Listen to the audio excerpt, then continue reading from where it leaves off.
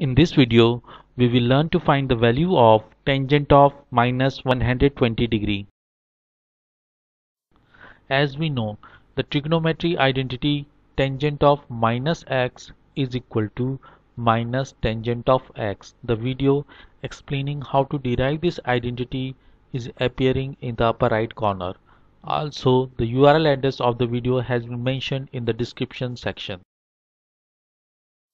Let us apply the above identity for tangent of minus 120 degree. Here x is 120 degree. So tangent of minus 120 degree is equal to minus tangent of 120 degree.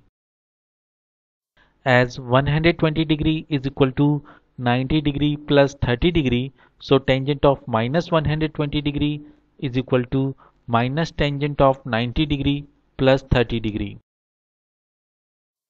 As we know, the trigonometry identity tangent of 90 degree plus x is equal to minus cotangent of x. The video explaining how to derive this identity is appearing in the upper right corner.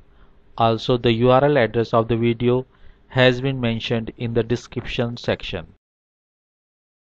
Let us apply the above identity for tangent of 90 degree plus 30 degree. Here x is 30 degree so tangent of minus 120 degree is equal to minus of minus of cotangent of 30 degree which is equal to cotangent of 30 degree as minus of minus is plus.